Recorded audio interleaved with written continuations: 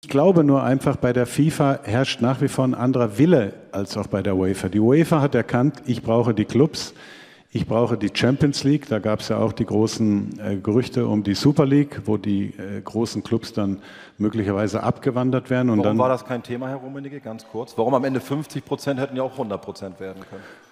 Na, ich glaube erstmal, wir hatten 0 Prozent und wenn man dann 50 erreicht, ist das schon mal ein erster guter Schritt. Und ich glaube auch, dass gerade in der jetzigen Situation es wichtig ist, dass der europäische Fußball da irgendwie vereint zusammensteht. Die UEFA ist der Dachverband. Die Nationalverbände, denke ich, sind auch äh, grundsätzlich hier ein wichtiger Partner im Boot. Und dann kommen eben die Clubs.